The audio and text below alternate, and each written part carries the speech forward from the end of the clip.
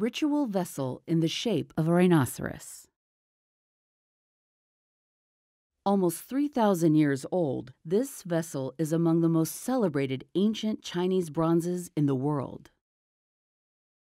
Many animal shaped ritual vessels were created around the same time.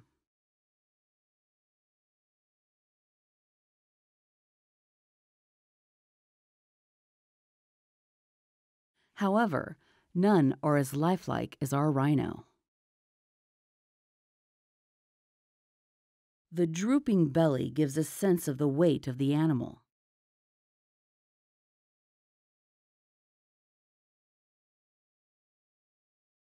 The folds of thick skin at the shoulder evoke a real rhino's hide.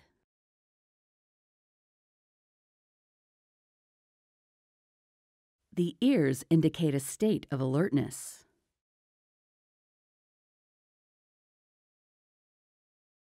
The two horns suggest that it is a Sumatran rhinoceros.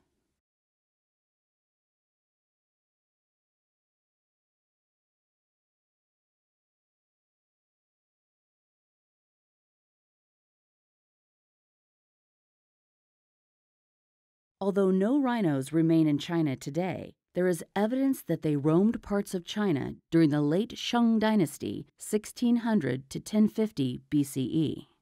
Due to the demand for their horns, rhinos are now among the most endangered species in the world. The inscription cast inside dates this vessel to the last king of the Shang dynasty. It is rare because it is longer than most inscriptions of this period. The ancient Chinese characters commemorate a king's gift of cowrie shells, ancient money, to one of his ministers. King Cowrie shell. This rare rhino shaped vessel is one of the Asian Art Museum's most important and beloved artworks.